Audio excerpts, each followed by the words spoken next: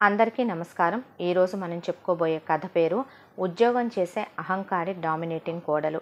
కథలోకి వెళ్ళబోయే ముందు మీరు కనుక మన ఛానల్ని ఫస్ట్ టైం చూస్తున్నట్లయితే తప్పకుండా మన ఛానల్ని లైక్ చేయండి షేర్ చేయండి సబ్స్క్రైబ్ చేయండి బెలైకాన్ క్లిక్ చేసి ఆల్ అనే బటన్ని ప్రెస్ చేయడం మర్చిపోకండి. కథని ఎక్కడ స్కిప్ చేయకుండా వినండి. మరి కథలోకి వెళ్ళిపోదామా? ఈ నిమిషం నా ఇంట్లో నుంచి బయటికి నడవండి మీ ముగ్గురు. ఎవరింట్లో నుంచి ఎవరు బయటికి నడవాలి వదినా? ఏం మాట్లాడుతున్నావు నువ్వు? అన్నాడు లక్ష్మణ్. మీరే ఈ ఇంట్లో నుంచే అంది మానస. అదేంటి అలా మాట్లాడతావు? అమ్మా నాన్నని తీసుకొని ఇప్పుడు నేను బయటికి వెళ్ళాలా తప్పు చేసింది నువ్వు వెళ్ళాల్సింది నువ్వు వెళ్ళమంది నిన్ను అన్నాడు లక్ష్మణ్. ఏయ్ ఆపరా. నువ్వు నా తప్పు ఒప్పుల గురించి మాట్లాడేంత రైట్ కానీ ఏజ్ కానీ అంత రేంజ్ కానీ నీకు మూడు లెవులే కానీ మర్యాదగా మీ ముగ్గురు బయటికి నడవకపోతే నేను ఇప్పుడే పోలీసులకు ఫోన్ చేసి మీ మీద నేను గృహహింస అట్లాగే వరకట్నం కేసులు బరాయించి నన్ను మీరు హెరాస్మెంట్ చేస్తున్నారని టార్చర్ చేస్తున్నారని కేసు పెడతాను. దాంతో జరిగేదేమీ లేదు.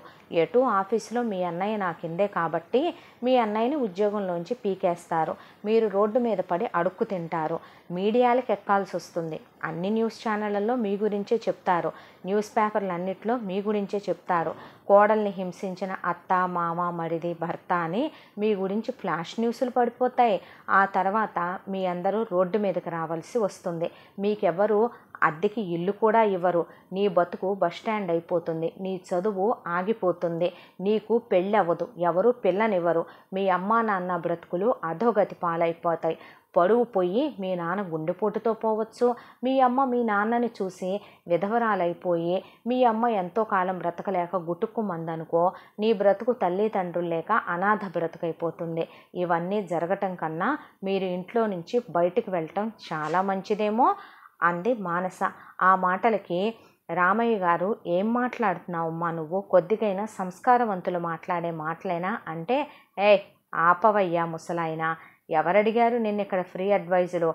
నువ్వు నీ పెళ్ళాం నీ చిన్న కొడుకు ఈ ఇంట్లో నుంచి బయటకు నడుస్తారా? నీ పెద్ద కొడుకుతో నేను కాపురం చేస్తా. లేదంటే ఈ నిమిషమే నేను కోర్టుకు ఎక్కి నీ పెద్ద కొడుకుతో విడాకులు తీసుకొని మీ అందరి బ్రతుకు రోడ్డెక్కిస్తా. ఏం కావాలో మీరే తేల్చుకోండి అందే.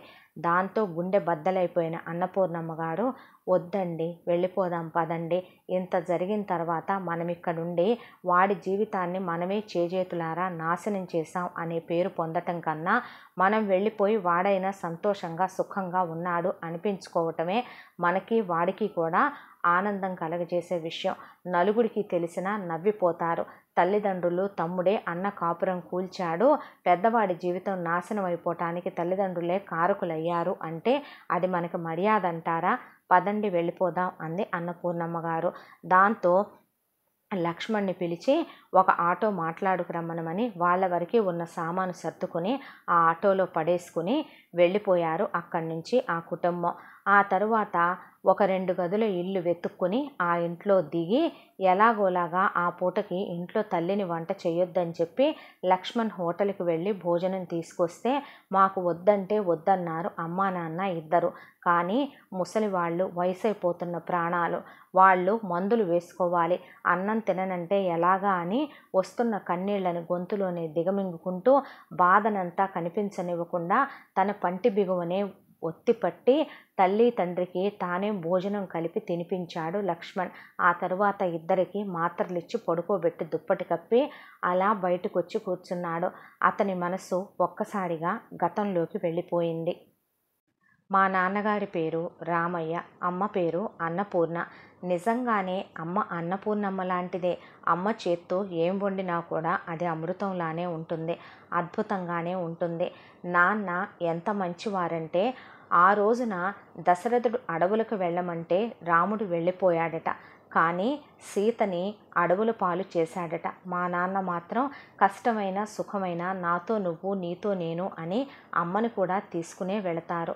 అంత గొప్పవాడు మా నాన్న. ఆయన గురించి చెప్పాలంటే మాటల్లో సరిపోదు. మా అమ్మా నాన్నలకి మేమిద్దరం సంతానం. అన్నయ్య రఘురాం చాలా మంచివాడు. అలాగే మెతక స్వభావుడు. ఎవరు ఏది చెప్తే అది నమ్మేస్తాడు. ఎవడి మాటలకైనా సరే త్వరగా లొంగిపోయే మనస్తత్వం. అతని అమాయకత్వంతోనే ఇంత కథ జరిగి మా జీవితాలు ఇవాళ ఈ స్థితికి వచ్చాయి ఇక నా పేరు లక్ష్మణ్. నేను అన్నయ్య తరువాత అమ్మా నాన్నల రెండో సంతానాన్నే.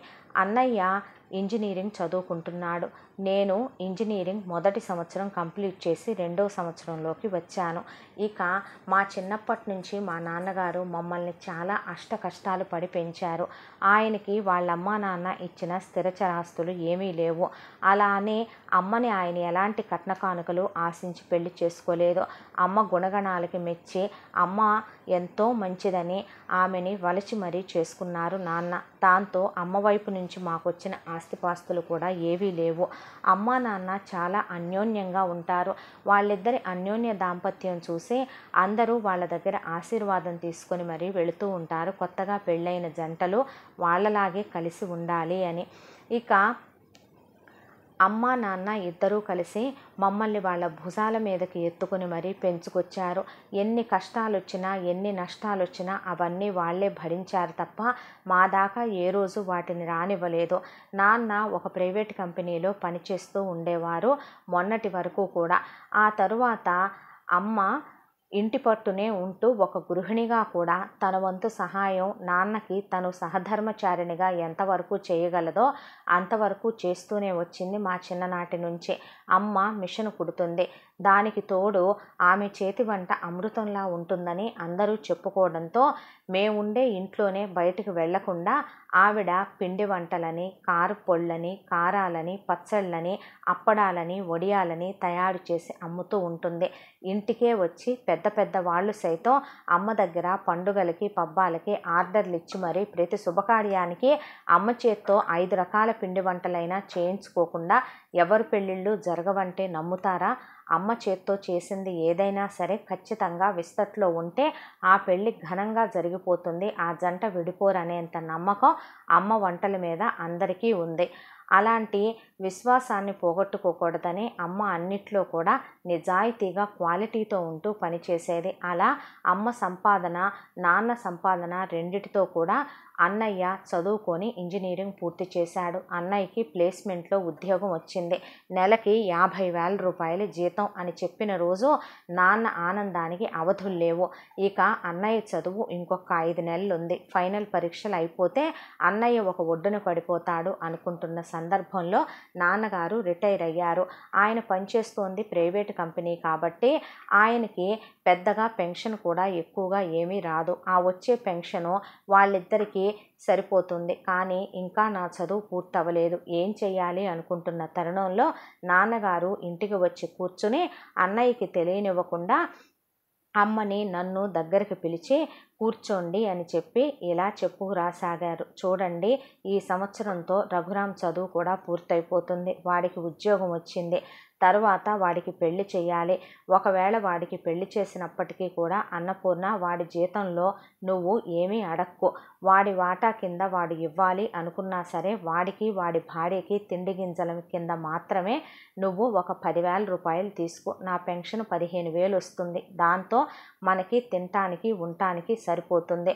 దాంట్లోనే మనం ఇంటద్దె కట్టుకుంటూ మన కుటుంబాన్ని గుట్టుగా లాక్కొచ్చేసుకోవచ్చు. ఇకపోతే లక్ష్మణ్ నువ్వు. ఇక నేను నిన్ను ఇప్పటి వరకు లాక్కొచ్చాను. ఇక ఇప్పటి నుంచి నీ చదువు బాధ్యత నీ మీదే పెడుతున్నాను. అదేంటి? నాన్న అన్నయ్యని అలా నన్ను ఇలా అని అనుకోకు నాయన. మీ నాన్న ఇంకా పోరాడే శక్తి లేని బలహీనుడు. ఏమీ అనుకోకయ్యా. ఉన్నంతవరకు నేను మొత్తం మీ అన్నయ్యకి ఖర్చు పెట్టి చదివించాను. అలా అని వాడి మీద నిన్ను ఆధారపడి చదువుకోమనమని చెప్పే తండ్రిని కాదు నేను అంటున్న తండ్రి మాటలకి ఏం మాట్లాడుతున్నారు నాన్నగారు మీరు? నేను మెరిట్లో సీట్ తెచ్చుకున్నాను. నా ఫీజు వరకు నేను కట్టుకుంటాను. మీరు అస్సలు ఇబ్బంది పడి బాధపడద్దు నా గురించి అంటున్న లక్ష్మణ్తో నిజంగా నువ్వు లక్ష్మణుడి వేరా చాలా గొప్ప సంతానాన్ని కన్నాను నేను. మరు జన్మంటూ ఉంటే మీరే నా పిల్లలుగా పుట్టాలి అంటున్న ఆయనతో ఏం పర్వాలేదు నాన్నగారు. నన్ను చాలా కాలంగా ట్యూషన్స్ చెప్పమని చాలామంది అడుగుతున్నారు. రేపే ఇంటి బయట బోర్డు పెట్టి ట్యూషన్స్ స్టార్ట్ చేస్తాను. దానికి తోడు నేను ఎందుకు ఖాళీగా ఉండాలి? నాకు తెలిసిన పార్ట్ టైం జాబులు రెండు మూడు ఉన్నాయి. వాటిల్లో ఏదో ఒకటి చూసుకుని నేను ఏ పిజ్జా కార్నర్లోనో లేదంటే మరెక్కడో ఒక చోట జాయిన్ అయిపోతాను. కనీసం డెలివరీలు చేసినప్పటికీ కూడా నా ఫీజుకు సరిపడే డబ్బులు నేను సంపాదించుకోగలను. మీరు అస్సలు నా గురించి ఆలోచించొద్దు అని చెప్తున్న లక్ష్మణ్తో నీలాంటి కొడుకు మరి జన్మెత్తిన అమ్మా నాన్నలకి ఉండడురా. మేమేం పుణ్యం చేసుకుంటే నువ్వు పుట్టావో అన్నారు రామయ్య గారు. ఆ తర్వాత లక్ష్మణ్ అక్కడి నుంచి లేచి వెళ్ళిపోయిన తర్వాత అన్నపూర్ణతో ఇప్పటి వరకు మనం పిల్లల కోసం కష్టపడ్డాం. పగలనక రేత్రనక మనం మన గురించి ఏ రోజు కూడా ఆలోచించుకుంది లేదు. ఇహ మీదట మనకి రోగం వచ్చినా రొస్ట్ వచ్చినా మంచి అయినా చెడైనా పిల్లల మీద ఆధారపడకూడదు. ఇంకొక రెండు సంవత్సరాల్లో చిన్నవాడి చదువు అయిపోయి వాడి బాధ్యత కూడా వాడు తీసేసుకుంటాడు. కానీ మనం ఒక్కటే చెప్తున్నాను ఓపిక ఉన్నంతకాలం పిల్లలిద్దరి దగ్గరికి వెళ్ళకూడదు. మన పనులు మనమే చేసుకుంటూ మన గంజేదో మనం కాసుకుని మన ఇంట్లో మనం ఉన్నప్పుడే మనం ఆత్మాభిమానంతో పరువుగా బ్రతుకుతాం. మరీ లేవలేని పరిస్థితుల్లో పిల్లల దగ్గరికి వెళ్ళినప్పటికీ వాళ్ళని మనం వాళ్ళ డబ్బులతో చూడమనో మన రోగాలకి దుష్టులకి ఖర్చు పెట్టమనో అనటం తప్పు.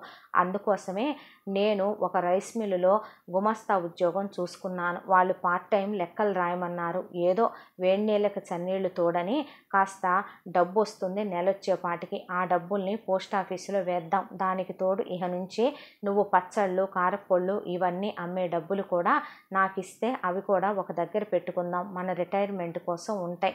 ఇక ఇవన్నీ కాదని నువ్వు మిషన్ కుట్టడం తగ్గిచ్చేసే ఇదివరకిట్లాగా నువ్వు గంటలు గంటలు మిషన్ కుడతానంటే నేను ఊరుకోను. పెద్దవాడి బరువు బాధ్యతలు తగ్గాయి కదా. చిన్నవాడికి ఎలాగోలాగా వాడు మెరిట్ మీద చదువుకోగలడు. ఇకపోతే మన ఆరోగ్యాల గురించి కూడా మనం ఆలోచించుకోవాలి. పిల్లల మీద ఎట్టి పరిస్థితుల్లో ఆధారపడి వాళ్ళ దగ్గర చేయి చాచకూడదు అన్న పూర్ణ అర్థమవుతుందా? నేను చెప్పేది నీకు అని చెప్పారు రామయ్య గారు. దాంతో అలాగేనండి మీరు ఎలా చెప్తే అలా అంది అన్నపూర్ణమ్మ గారు.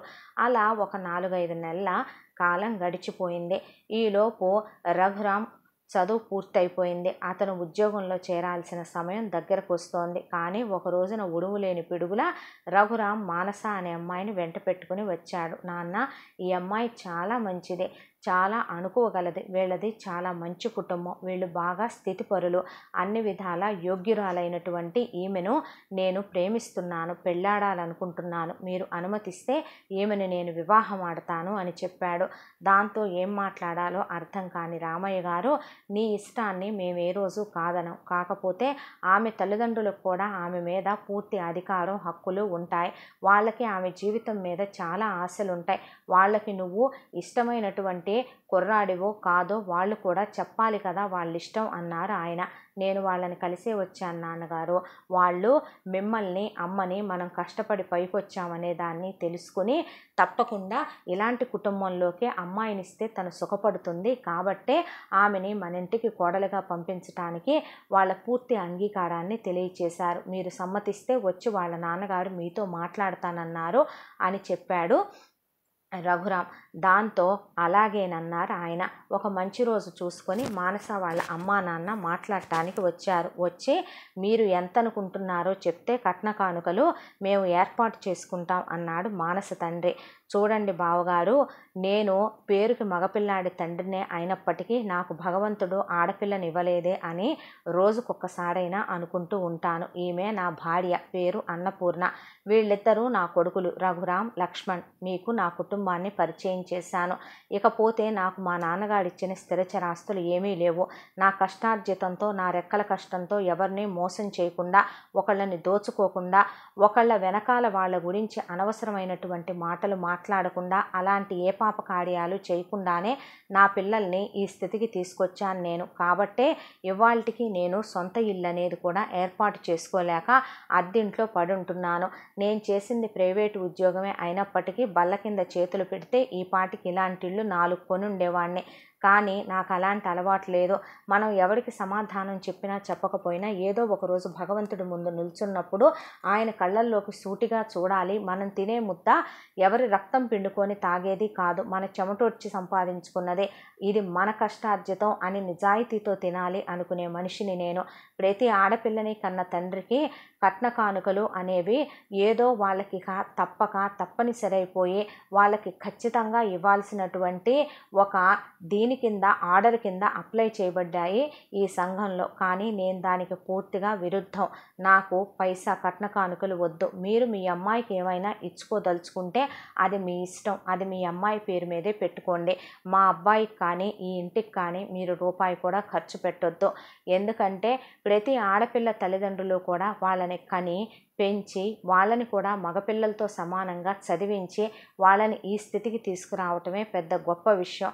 దానికి తోడు వాళ్ళు సంతోషంగా ఆడపిల్ల పెళ్ళి చేసి పంపించాలి కానీ ఆడపిల్ల అత్తవారింటికి వెళ్ళిపోతుందనే కన్నీళ్ళు తప్ప ఇంతింత కట్న కానుకలు ఇచ్చి పంపించాం అత్తవారింటికని ఏ తల్లిదండ్రులు కన్నీళ్ళు పెట్టకూడదు అనేది ఒక సాటి తండ్రిగా నేను తెలుసుకున్న విషయం. మీకు నచ్చినా నచ్చకపోయినా నేను చెప్పాల్సింది చెప్పాను అన్న ఆయన మాటలకి మానస తండ్రి రావుగారు లేచి రామయ్య గారిని హత్తుకుని మీలాంటి గొప్ప వియ్యంకుడు దొరకటం నేను ఏ జన్మలో చేసుకున్న అదృష్టమో సాటి ఆడపిల్లలందరి తరఫున ఒకేసారి వాళ్ళందరి తండ్రిలా మాట్లాడేశారండి బావగారు.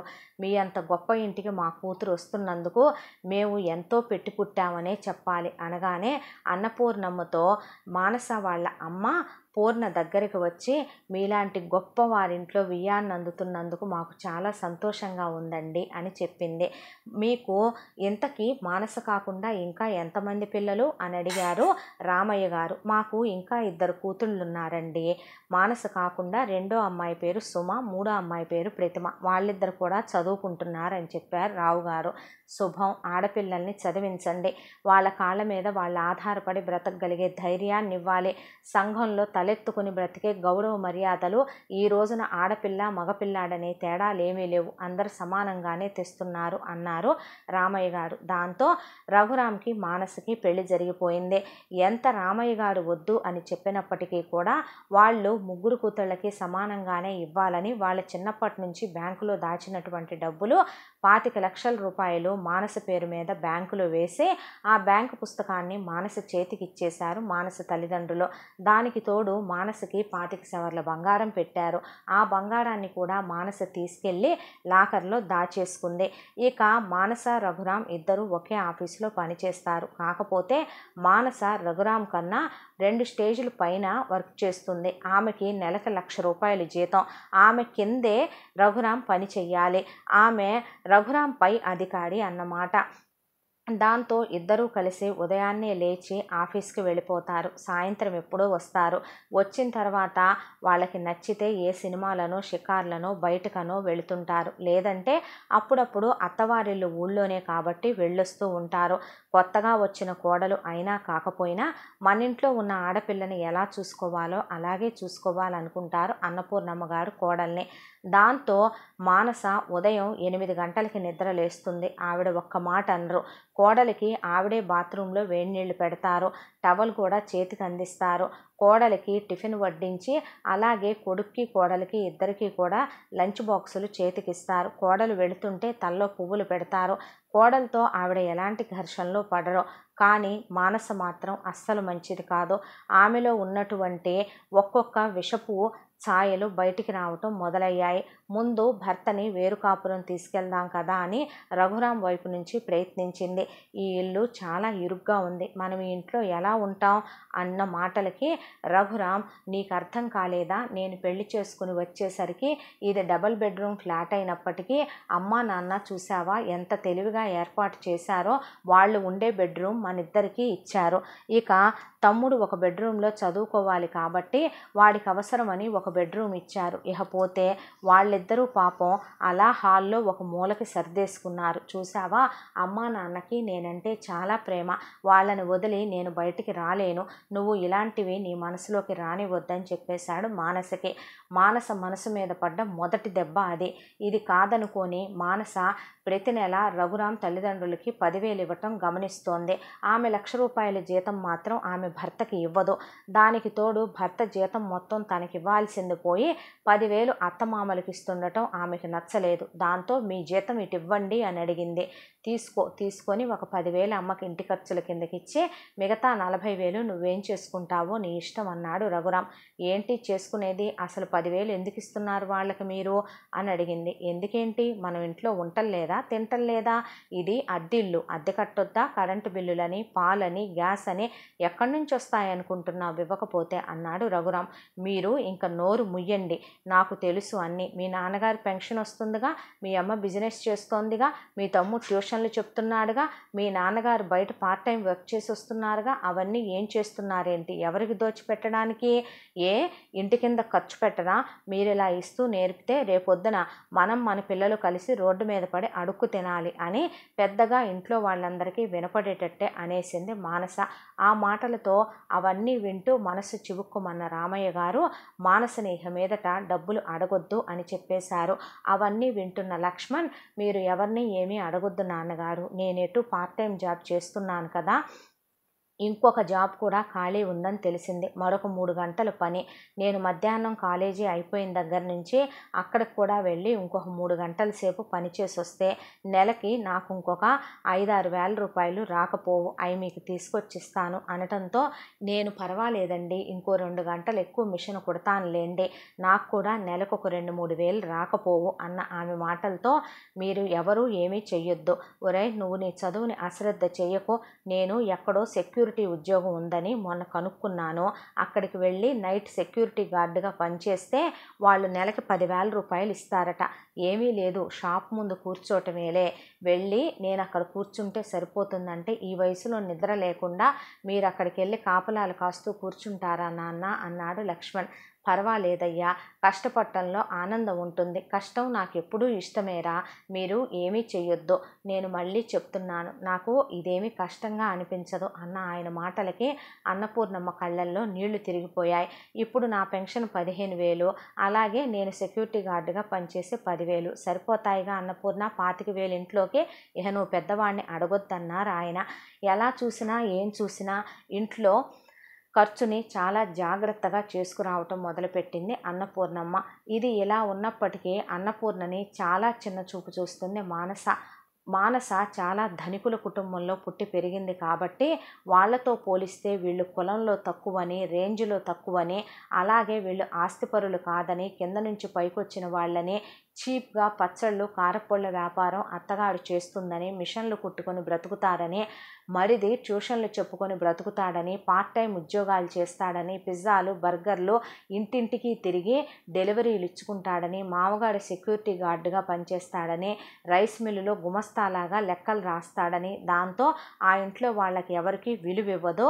మానస అందరినీ కూడా పేర్లు పెట్టి పిలిచేస్తుంది. ఇదిగో ముసలాయన నిన్నే అంటుంది రామయ్య గారిని. ఓయ్ అన్నపూర్ణ నిన్నే పిలుస్తున్నానంటుంది అత్తగారిని. మరిదినైతే ఒరే అరే అనే పిలుస్తుంది. అలా మాట్లాడినా కూడా రామయ్య గారు ఎవరిని ఏమీ అనొద్దని చెప్పేశారు. పోను పోను తనే తెలుసుకుంటుందిలే అంటారు ఆయన. రఘురామ్ ఎన్నిసార్లు అలా ఉండొద్దని చెప్పినా మానసులో మార్పు ఏమీ లేదు. పైగా రఘురామ్ని ఆఫీసులో ఇక్కడ ఏదన్నా మాట్లాడితే అక్కడ నానా మాటలు అంటుంది అందరి ముందు మానస. ఒకరోజు మానస ఇంట్లో వాళ్ళకి విలువివ్వట్లేదని నువ్వు అలా ఉండటం తప్పు కాదా? అదే మీ అమ్మ నాన్నని నేను సంస్కారం లేకుండా పిలిస్తే నువ్వు భరించగలవా? అని ఇక్కడ అన్నాడని ఆ మాటని కడుపులో పెట్టుకొని గుర్తు పెట్టుకొని ఆఫీస్కి వెళ్ళిపోయిన తర్వాత అందరి ముందు యూ ఈడియట్ రాస్కెల్ స్కౌండ్రల్ నీకు ఆఫీస్ పని చేయటం కూడా చేత కాదా? తిని కూర్చోటానికి వస్తున్నావా ఆఫీస్కి కొద్దిగైనా బుద్ధి ఉండాలి అని అందరి ముందు ఆఫీస్ ఫైల్లో అతని ముఖం మీద విసిరుకొట్టి ముఖం వాచేలాగా నానా మాటలంది. దాంతో చివరికి ఆఫీసు మేనేజర్ కూడా అతను ఆమె భర్తని తెలిసి కూడా ఆమె అలా మాట్లాడుతుండడంతో ఏమీ మాట్లాడలేక వాళ్ళిద్దరి మధ్యకెళ్ళి ఏం చెప్పాలో అర్థం కాక బుర్ర గొక్కుంటూ లోపలికి వెళ్ళిపోయాడు. అలా ఇక్కడేమైనా అన్న ఆ ఎఫెక్ట్ ఆఫీసులో రఘురామ్ మీద పడిపోతుంది. దాంతో అతను మానసికంగా నలిగిపోతున్నాడు. ఇటింట్లో మానసకి చెప్పలేక ఆఫీసులోనూ మానస ప్రవర్తన అలాగే ఉండటంతో అతను మానస కింద ఆఫీసులోనూ ఇంట్లోనూ కూడా నరకం అనుభవించడం మొదలుపెట్టాడు. ఇది ఇలా ఉండగా ఇంటికి మానస స్నేహితులందరినీ లంచ్కి పిలిచింది ఒక రోజున. వాళ్ళందరూ వచ్చేటప్పటికి అన్నపూర్ణమ్మ గారిని ఒక పెద్ద మెనూ లిస్ట్ ఇచ్చి ప్రిపేర్ చేయమని చెప్పింది. అవన్నీ తయారు చేస్తూ ఆవిడ కాటన్ చీరలో చెమట్ల కారుతో అవన్నీ సిద్ధం చేస్తూ టేబుల్ మీద సర్దుతుంటే ఈవిడ ఎవరు? అని అడిగారు వచ్చిన వాళ్ళు. ఈవిడ మా వంట మనిషి కం పని మనిషి అని చెప్పింది మానస. అంతలో మామగారు సెక్యూరిటీ గార్డు వే డ్రెస్ వేసుకొని రావటంతో ఈయనెవరే? మాను అని అడగగానే ఈయన మా ఇంటికి వాచ్మెన్ కమ్ డ్రైవర్ కమ్ అన్నీ బయట పనులు చేసే అతనులే అని చెప్పింది. దాంతో మరిది అప్పుడే వచ్చాడు. మరి ఇతనెవరు? అని అడగటంతో ఇతన? ఈ ఇంట్లో అసిస్టెంట్గా వర్క్ చేస్తాడు. మా ఇంట్లోకి ఏం కావాలన్నా కూడా బయటికి వెళ్ళి తీసుకొస్తూ ఉంటాడు వీడు. ఏరా? అంది మరిది వైపు చూసి. దాంతో ఒళ్ళు మండిపోయింది లక్ష్మణ్కి. లక్ష్మణ్ ఏదో మాట్లాడబోతుంటే అన్నపూర్ణ రామయ్య కలిసి వెనక్కి లాగేశారు లక్ష్మణ్ని. ఇలా ఒకటి కాదు. ఇంట్లో ప్రతిరోజు ప్రతి విషయంలో గొడవలే. కావాలని అన్నపూర్ణమ్మ వండిన వంటని ఊసేసి పళ్ళెంలో నీ మొహంలాగా ఉంది. ఇది కుక్కలైనా తింటయ్యా. నీ జన్మకింత వయసు వచ్చింది నీకు అన్నం కూరలు ఉండటం కూడా రాదు. మరి పిల్లల్ని ఎలా కన్నావు? పిల్లల్ని ఎలా పెంచావు? నువ్వు అసలు అమ్మవేనా? అవునులే. ప్రొడక్షన్ ఏముంది? పిల్లలు పుట్టగానే స్టార్ట్ చేసేసి టపా టపామని కనేశారు. వాళ్ళకు ఒక మంచి లైఫ్ ఇవ్వాలి ఒక రేంజ్ ఇవ్వాలి అనేది ఆలోచిస్తేనేగా అడుక్కునే వాళ్ళు కంటున్నారు. మనము కన్నాం పిల్లల్ని. దాందే ఉందలే ఒకరోజు రాత్రిపూట భార్యాభర్త కలిస్తే తెల్లారేపాటికి కుక్కలు పందులు కన్నట్టు మనం కూడా పిల్లల్ని కనేయటమే. అది చాలా తేలికైన పని కదా. వాళ్ళకంటూ ఒక లైఫ్ని ఇవ్వాలనే ఉద్దేశాలు ఉంటేనేగా ఇలా కొడుకుల్ని కూడా పచ్చళ్ళ వ్యాపారాలు చేస్తూ ట్యూషన్లు చెప్పుకుంటూ అలాగే కొడుకులు అడుక్కు తింటూ నాలుగేళ్ళలో బ్రతికే విధంగా భలే కని భలే పెంచారు. మళ్ళీ దీనికి నీతులు నిజాయితీలు ఆత్మాభిమానాలు అని పేర్లు ఒకటి అని అత్తగారిని నానా మాటలన్నా అవన్నీ వింటూ కూడా ఆవిడ ఏమీ మాట్లాడకుండా రేపటి నుంచి బాగా చేస్తానులేమ్మా తీసుకెళ్ళు క్యారియర్ నువ్వు తినకుండా ఉండటం ఎందుకు? అంది దుఃఖంతో నిండిపోయిన గొంతుతో. నీ మొహం చూస్తుంటేనే అసహ్యం వేస్తుంది. మళ్ళీ నీ చేత్తో చేసిన వంట కూడా నేను తినాలంటావా?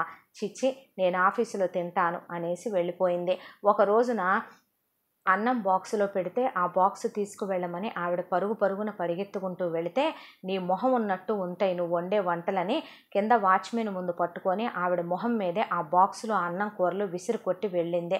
అందరూ చూస్తూ నోరు వెళ్ళబెట్టుకొని అలాగే చూస్తూ ఉండిపోయారు. అన్నపూర్ణమ్మ గారంటే ఆ మధ్యలో అందరికీ ఒక విలువ గౌరవాలు ఉన్నాయి వాళ్ళ కోడలే ఇలా ప్రవర్తిస్తుండటంతో పాటు అందరూ ఆశ్చర్యానికి కూడా గురైపోయారు. ఈ అమ్మాయి ప్రవర్తన ఎలా ఉంది? ఏంటి? అని. ఒక రోజున ఇది ఎలా ఉండగా ఇంట్లో చిన్న విషయాన్ని చిలికి చిలికి గాలివాన వరకు తీసుకెళ్ళిపోయింది మానస. ఆ ఆఫీసులో మానస సరిగ్గా వర్క్ చేయకపోవడంతో ఒక రోజున మేనేజర్ పిలిచి మానసని చివాట్లు పెట్టాడు. ఆ కోపంతో మానస ఇంటికి వచ్చి తల పగిలిపోతుంది. కాఫీ తీసుకురమ్మనమని చెప్పింది. రఘురామ్ని. ఆ టైంలో అన్నపూర్ణమ్మ గారు ఏదో పని చేసుకుంటున్నారు. రామయ్య గారు ఇంకా రాలేదు. చిన్న కొడుకు లక్ష్మణ్ బయట పిల్లలకి ట్యూషన్ చెప్తున్నాడు. దాంతో రఘురామ్ తానే కాఫీ కలిపికెళ్ళి ఇచ్చాడు. నీ మొహంలాగే ఉంది. ఈడియట్ స్క్రౌండల్ రాసుకెళ్ళని మొగుణ్ణి మొగుడిని నానా మాటలంటూ ఆ తాగే తాగే కాలే కాలే కాఫీని రఘురామ్ మొహం మీద కొట్టింది. అతని మొహం కాలిపోవటంతో గబా గబా వంటగదిలోకి వెళ్ళి మొహం మీద చన్నీళ్ళు కొట్టుకుండడంతో అన్నపూర్ణమ్మ గారికి కోపం వచ్చేసింది. ఎంత ఎంతైనా తల్లి మనసు కదా ఆగలేక ఏమ్మా ఏం పనులివి? కాస్తైనా బుద్ధి జ్ఞానం ఉండాలి. వయసు రాగానే సరికాదు. వాడు నీ భర్త. మగాడని కాకపోయినా నీ మొగుడనైనా విలువివ్వు. అసలు ఇప్పుడు వాడు ఏం తప్పు చేశాడని వాడి ముఖం మీద నువ్వు అలా కాఫీ కొట్టావు? కొద్దిగైనా సంస్కారవంతుల లక్షణమేనా ఇది? అని అడిగింది అన్నపూర్ణమ్మ. ఓహో నీలాంటి వాటితోనే నేను సంస్కారాలు చెప్పించుకోవాలే. నువ్వెంత? నీ బతుకెంత? నీ యూ చీప్ లేడీ అని ఆమె మీదకి వెళ్ళబోతుండగా అప్పుడే హడావిడిగా రఘురాం అడ్డు రాబోయాడు. దాంతో రఘురాంని లాగిపెట్టి ఒక్కటే ఒకటి చెంపకు పెట్టించి చెల్లున తీసింది మానస. దాంతో రఘురాం స్థానువైపోయి నిలబడిపోయాడు. అన్నపూర్ణమ్మ గారు కొద్దిగైనా బుద్ధి ఉందా నీకు? ఆ అరవటమేంటి అసలు? ముందు నోరు ముయ్. అలా నువ్వు నా కొడుకుని కొడతావా? అంత దెబ్బ కొట్టేశావు మగుడని మగాడని కూడా చూడకుండా నువ్వు అసలు ఆడదానివేనా? అంటుండగా నువ్వెవరివే నాకు చెప్పటానికని అత్తగారిని చడామడామని రెండు చెంపలు వాయించేసింది మానస. దాంతో బయట ఈ కేకలు విని లక్ష్మణ్ పరిగెత్తుకుంటూ లోపలికి వచ్చేశాడు అప్పుడే రామయ్య గారు కూడా లోపలికి వచ్చేశారు వెంటనే రామయ్య గారు అసలు నువ్వెవరు? నా భార్యను కొట్టడానికి ఈ క్షణం నా ఇంట్లో నుంచి బయటకు నడు. నా కొడుకుని కొట్టడానికి నా భార్యను కొట్టడానికి నిన్న ఇంటికి కోడలుగా తీసుకొచ్చామనుకుంటున్నావా? ఈ నిమిషం ఇంట్లో నుంచి బయటికి నడవమన్నారు ఆయన. ఎవరింట్లో నుంచి ఎవరు బయటికి నడవాలి? మీరే వెళ్ళాలి. ఇది నా ఇల్లు. అలా అన్నారా మీ అబ్బాయిని నేను ఉద్యోగంలో నుంచి ఊడపీకాల్సి వస్తుంది మిమ్మల్ని అందరినీ గృహహింస చట్టాల కింద అలాగే కట్నం హెరాస్మెంట్ కింద పో పోలీసులు కేసు పెట్టి మిమ్మల్ని జైల్లో పెట్టిస్తాను. కోర్టుకి ఎక్కిస్తాను. మీ అబ్బాయికి విడాకులు ఇస్తాను మీ బ్రతుకులు నడి వీధికి ఈడుస్తాను. మీ చిన్న కొడుక్కి ఉద్యోగం రాకుండా చూస్తాను. వాడికి చదువు ఆగిపోయేలా చేస్తాను. వాడికి పెళ్ళి కాకుండా చేస్తాను. మీ బ్రతుకు కుక్కలు చింపిన విస్తరి చేస్తాను అని రెచ్చిపోతున్న ఆమె మాటలకి గొంతులో దుఃఖాన్ని గొంతులోనే దిగమింగుకొని అప్పుడు లక్ష్మణ్ని తీసుకొని అలా రామయ్య గారు అన్నపూర్ణమ్మ ఆ ఇంట్లో నుంచి బయటికి రావాల్సి వచ్చింది. ఒక్కసారిగా రామయ్య గారు లేచి లక్ష్మణ్ లక్ష్మణ్ ఏంట్రా ఇక్కడ కూర్చున్నావు? బయట చలిలో అంటున్న మాటలకి ఉలిక్కిపడి గతంలో నుంచి బయటకు వచ్చాడు లక్ష్మణ్. ఏమి లేదు నాన్నగారు ఏమీ లేదు. ఊరికే అంటే జరిగిపోయిన విషయాలన్నీ తలుచుకుంటూ మనసు పాడు చేసుకోకురా. ఇంకా ఒక్క సంవత్సరంలో నీ చదువు పూర్తయిపోతుంది. ఆ తర్వాత నీకు ఉద్యోగం వస్తుంది. పెళ్ళి చేసేస్తాను. నీ జీవితం నీ బ్రతుకు నువ్వు బ్రతకొచ్చు. అయినా పిల్లల్ని కంటాం కానీ వాళ్ళ రాతల్ని కనవరా. చిన్నప్పుడు మీకు గుర్తుందా? మీ ఇద్దరిని నేను ఉప్పెక్కించుకుంటే నన్ను ఎక్కించుకోరు నాన్నగారు అన్నయ్యని ఎక్కించుకుంటారని నువ్వంటే నిన్ను ఎదురు వాడిని వెనక ఎక్కించుకుని తిప్పేవాడిని ఇప్పుడు నా గుండెల మీదే వాడెక్కి కూర్చున్నాడురా. తప్పే ఉంది చెప్పు. భరించాల్సిన రోజు వచ్చినప్పుడు తండ్రిని కదా అన్నీ భరించాలి. కాకపోతే ఎందుకోరా నా గుండెలకి ఇదివరకిట్లాగా శక్తి లేదు అని ఆయన ఒక్కసారిగా లక్ష్మణ్ని పట్టుకొని వెక్కి వెక్కి ఏడ్చేశారు. తండ్రి నా స్థితిలో చూసిన లక్ష్మణ్ గుండె బద్దలైపోయింది. దాంతో లక్ష్మణ్ మీరు బాధపడద్దు నాన్న నేను ఇంకా చచ్చిపోలేదు. మిమ్మల్ని నేను వదిలేయను. మీరు బాధపడకండి అని తండ్రిని లోపలికి తీసుకెళ్ళాడు. ఇక ఆ తెల్లవారి నుంచి ఆ ఇంటి ముందే లక్ష్మణ్ ఒక బోర్డు పెట్టుకున్నాడు. ట్యూషన్ పిల్లలు ఇంకా పెరిగారు. అతనితో పాటు అతని స్నేహితులు కూడా ఒకరిద్దరు రావటం మొదలయ్యారు. పార్ట్ టైం జాబ్ కింద అందరూ కలిసి ఒక మంచి ట్యూషన్ సెంటర్ కింద దాన్ని ఫామ్ చేసి ట్యూషన్స్ చెప్పుకుంటూ ఉన్నారు. ఇది కాక అన్నపూర్ణమ్మ గారు అక్కడ ఒక చిన్న బోర్డు పెట్టేసి స్వీట్లు అలాగే పిండి వంటలు ఆవిడ చేసేయన్ని సేల్ చేయటం మొదలుపెట్టింది. రామయ్య గారు అలాగే ఉద్యోగానికి వెళ్ళొస్తున్నారు. ఒక సంవత్సరం అయిపోయింది. లక్ష్మణ్కి ఉద్యోగం వచ్చింది. లక్ష్మణ్కి ఒక మంచి అనుకూలవతి అయిన అమ్మాయిని చూసి పెళ్ళి చేసేశారు. ఆ అమ్మాయి పేరు హిమ. చాలా మంచిది. నిజంగానే మంచుకొండ అంత మంచి మనసు. పెద్ద కోడలికి చిన్న కోడలికి ఏ విషయంలో కూడా అసలు చెప్పుకోవటానికి ఎక్కడా సంబంధమే లేదు. అంత ఉత్తమురాలు హిమ. బహుశా అది లక్ష్మణ్ వల్లే సాధ్యమైందేమో. హిమ వచ్చి రాగానే అత్తగారిలో ఉన్న టాలెంట్ని గుర్తుపట్టేసి మీ చేత్తో ఏది వండినా అది అమృతమేనత్తయ్య. మీరు ఇలాగే ఇంటికి పరిమితం అయిపోవటానికి వీల్లేదు. నేను ఖాళీగానే ఉంటున్నాను. ఎందుకు మీరు అలా ఉండాలి? మీరు నాకు చెప్తూ ఉండండి. నేను చేసేస్తాను. మనిద్దరం కలిసి బిజినెస్ స్టార్ట్ చేద్దామని చిన్న మొత్తంతో ఆవిడ ఇంటి ముందే చిన్న స్వీట్ షాప్ లాగా అలాగే చిన్న చిన్న క్యాటరింగులు ఆర్డర్లు తీసుకుంటామని చెప్పి ఫుడ్ బిజినెస్ బిజినెస్ లాగా స్టార్ట్ చేసేసారు. స్విగ్గీ జొమాటో లాంటి పెద్ద పెద్ద వాటిల్లో కూడా యాపుల్లో పెట్టి ఫుడ్లు అందరికీ సేల్ చేయటం మొదలుపెట్టారు దానికి తోడు ఫారెన్లో ఉండేటటువంటి వాళ్ళందరికీ ఇండియా నుంచి పార్సిల్స్ పంపించడం మొదలుపెట్టారు పెళ్ళిళ్ళకి పేరెంటాలకి ప్రతి శుభకార్యానికి కూడా స్వీట్లు తయారు చేయటం ఇదంతా చూసినటువంటి రామయ్య గారు ఇహ ఈ సెక్యూరిటీ ఉద్యోగం అదంతా చేస్తే కోడలు ఊరుకోనని పట్టుపట్టడంతో ఆయన ఆర్గానిక్ సరుకులు అలాగే ఆర్గానిక్ కూరగాయలు సేల్ చేయటానికి ఒక ఇద్దరు మనుషుల్ని మాట్లాడి పల్లెటూళ్ళ నుంచి వాటిని తెప్పించి వాటిని నీట్గా రాయి రప్ప లేకుండా శుభ్రం చేయించి ప్యాకింగ్ చేయించి వాటిని హోమ్ డెలివరీలు పంపిస్తున్నారు. ఒకవైపున లక్ష్మణ్ ఉద్యోగానికి వెళుతున్నాడు. చాలా ప్రశాంతంగా అలాగే చాలా హాయిగా సాగిపోతోంది వాళ్ళ జీవితం. సొంత ఇల్లు కట్టుకున్నారు. వ్యాపారం అభివృద్ధి చెందుతోంది. లక్ష్మణ్ జీవితం చాలా సంతోషంగా ఉంది. అదంతా చూస్తూ రామయ్య గారు అన్నపూర్ణమ్మ గారు చాలా సంతోషిస్తున్నారు. ఇది ఇలా ఉండగా మరొక వైపున రఘురామ్ ఇంట్లో భార్య టార్చర్ పడలేక ఆఫీసులో పడలేక పూర్తిగా తాగుడికి బానిసైపోయాడు. రోడ్డు మీద ఎక్కడ పడితే అక్కడ పడిపోతున్నాడు. ఎవరు పడితే వాళ్ళు తీసుకొచ్చి ఇంట్లో పడేసిపోతున్నారు. ప్రతిరోజు ఆ ఇంట్లో యుద్ధాలు గొడవలు జరగటం మామూలైపోయింది. ఇంటి చుట్టుపక్కల వాళ్ళందరూ విని అందరికీ కూడా ప్రతిరోజు ఉండేదేగా అన్నట్టుగా అయిపోయింది ఆ ఇంట్లో కథ అంతా కూడా. దానికి తోడు మానస ఒక రియల్ ఎస్టేట్ బ్రోకర్ని నమ్మి వాడి చేతిలో విల్లాలు వేస్తున్నారని తెలిసి అత్యాశకు పోయి తనకు పెట్టిన పాతిక సవర్ల బంగారం అమ్మి బ్యాంకులో ఉన్న పాతిక లక్షల డబ్బు ఇచ్చి ఇంతకాలం తను దాసిన జీతం డబ్బులు భర్త జీతం డబ్బులు మొత్తం కలిపి వాటికి తోడు ఇంకా లోన్ పెట్టి ఆ డబ్బు డబ్బులు మొత్తం ఆ బ్రోకర్ చేతిలో పోసేసింది. వాడు కాస్త రాత్రికి రాత్రే చప్పా పెట్టకుండా కోటిన్నర రూపాయలు తీసుకొని ఎక్కడికి వెళ్ళిపోయాడో సిమ్ తీసేసి వెళ్ళిపోయాడు. పోలీస్ స్టేషన్లో కేసు పెట్టినా పోలీసులు ఎవరో ఊరు పేరు తెలియని వాడికి అసలు ఏం చూసి వాడు ఖాళీ జాగా చూపించగానే ఒక వెంచర్ లేకుండా ఒక బోర్డు లేకుండా ఒక రిజిస్ట్రేషన్ లేకుండా కోటిన్నర రూపాయలు చేతిలో పెట్టావని ముఖం వాచేలాగా మానసని తిట్టి పంపించారు. దాంతో ఆ కోపం అంతా మానస రఘురాం మీద చూపించటం ఇంట్లో ఇంట్లో నానా గొడవ జరగటం రఘురాం తప్పతాగొచ్చి ఇంట్లో పడిపోవటం ఇది ఆ ఇంట్లో పరిపాటైపోయింది. ఎన్నో ఆశలతో కొత్తిల్లు కట్టుకొని వెళ్ళిపోదాం అనుకుని తన కలలు నెరవేరక ఒకవైపున ఆఫీసులో ఫ్రస్ట్రేషన్స్ దానికి తోడు ఇంట్లో రఘురాం ఇలా చేయటం దాన్ని అనుకున్న సొంత ఇళ్ళ కళ నెరవేరకపోవటం అదే పాత డబుల్ బెడ్రూమ్ ఇంట్లో పడుండాల్సి రావటం అద్దె కొంపలో ఉండి నానా మాటలు ఓనర్లతో అనిపించుకోవాల్సి రావటంతో మానస ఆ కోపం అంతా రఘురాం మీదే చూపిస్తోంది. ఒకరోజు ఇదే విసురుతో మానస ఆఫీసు నుంచి వస్తుండగా ఒక ముష్టివాడు మానసని బిచ్చమేమని మనం ముందుకొచ్చాడు. ఇంట్లో ఇంతకు ముందు ముగ్గురు బిచ్చగాళ్ళు ఉండేవాళ్ళరా వాడి దరిద్రం వదిలించుకున్నాను. ఇంకొక ముష్టోడున్నాడు. కాసేపట్లో తప్పు తాగి వాడెక్కడో చోట పడిపోయాడని ఫోన్ వస్తుంది. వెళ్ళి ఆ ముష్టోడిని తీసుకురావాలి. అప్పుడు నువ్వు నాకు తోడొద్దు కానీ వస్తే నీ బొచ్చులో ఓ పది రూపాయలు వేస్తానులే వెదవ ముష్టిమంద అనుకుంటూ గబా గబా లిఫ్ట్ దగ్గరికి వెళ్ళింది. లిఫ్ట్ పని చేయట్లేదు మేడం అని వాచ్మెన్ చెప్పటంతో దరిద్రపు అపార్ట్మెంటు ఎప్పుడు చూసినా నెలలో ఇరవై రోజులు ఈ ముదరష్టపు లిఫ్ట్ పనిచేయదు అని హడావిడిగా ఎక్కుతూ మెట్లు వెళ్ళిపోతోంది. వర్షం పడి ఉండటం వల్ల మూడవ అంతస్తుకు ఎక్కేపాటికి ఆమె కాలు ఒక్కసారిగా జారటంతో అక్కడి నుంచి కళ్ళు తెరిచేపాటికి గ్రౌండ్ ఫ్లోర్లో పడిపోయి హాస్పిటల్లో కళ్ళు తెరిచింది మానస. తీరా చూస్తే మానసకి నెక్ బోను అలాగే ఆమెకి వెన్నుపూసకి చేతులకి కాళ్ళకి బాగా దెబ్బలు తగిలాయి. ఒక కాలు చెయ్యి విరిగాయి.